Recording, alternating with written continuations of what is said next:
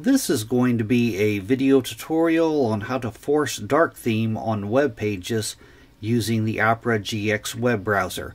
I will be using a desktop PC for this. Let me jump over to my browser here. I have the Opera GX web browser opened up now. To enable dark theme and to force dark theme on the web pages, it's very easy to do. First thing you want to do is go off to the upper left hand corner up to where you see the little red O logo. You want to click on that.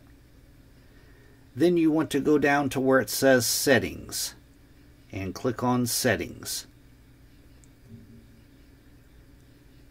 Now in the center pane you want to scroll down just a little ways to where you see it says theme. You want to make sure that dark is enabled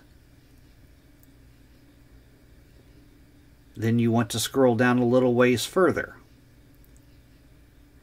to where you see it says Force Dark Pages. You want to toggle this on.